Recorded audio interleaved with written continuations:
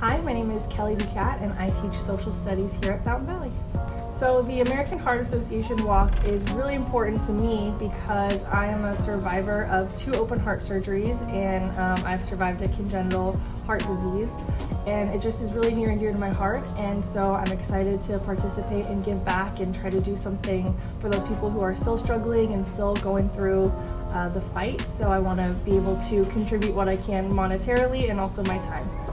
I think students at the school should try to participate in the American Heart Association walk because I think it's really important for students to be invested in something in the community, something greater than and something outside of Fountain Valley, and find something that really speaks to them and motivates them to help people. And if that is uh, reaching out to people who have been victims of heart attacks or strokes or heart disease, I think that it would be a really great place to start. And it's really fun and lighthearted, and you don't have to uh, pay anything. You can just show up and walk and give your support for people who are uh, experiencing heart disease and yeah, so you can sign up for the walk either on my team, you can start your own team, you can start a Fountain Valley team, or you can just sign up as an individual walker. And you do that at the American Heart AmericanHeartAssociation.com website. If you just go into Google and you type in American Heart Association, it'll pop up. It'll give you a bunch of information about the walk. It's at uh, the Angel Stadium of Anaheim this year, so it's close by and it's a really cool venue.